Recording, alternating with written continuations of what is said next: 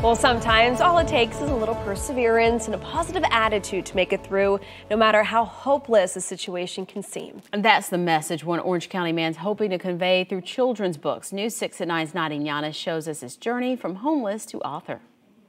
From being homeless, sleeping in his car on the side of I-4, to being a five-time children's book author, 68-year-old Eddie Ingram is teaching children how to believe in themselves. I was homeless, but I always said I had a job and that job was to find work. Even though it was the toughest chapter of his life, Eddie Ingram never let being homeless define him. Some people get stuck in that life, you know, but I always said, well, I there was a way out. And never let go of his goal to succeed. I went to Barnett Park one morning, early one morning, around there and took my ironing board out under the, one of the pavilions and washed up in the cold water and went out looking for work. You know, I had my clothes there. You know, I did what I had to do. And in this chapter, it paid off.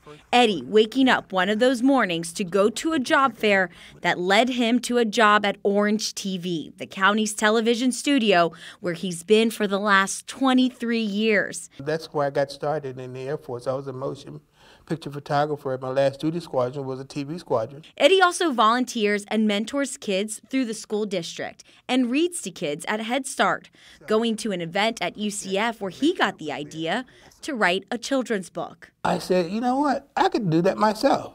And guess what? I could do that myself. And boy, did he already have a story. Being a man of one you see as a man in life, I chose to be. Memorized in his head I woke up one day and I said, hooray! I found a place in life for me. That story was his. That's what I who I am today. Eddie now wrapping up his fifth children's book. These two just came out, um, Little Boy and Run, Philip, Run. Each of them. Philip be- deals with peer pressure. With lessons to learn in the end.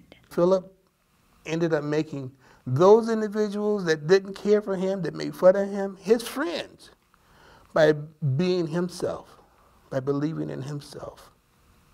And that's what I want people to understand in my books. You can be whatever you want to be in life, but you have to believe first in yourself. So you could check out Eddie's books at any Orange County Public Library. You can also order them on Amazon. In Orlando, I'm Nadine Yanis getting results, News 6.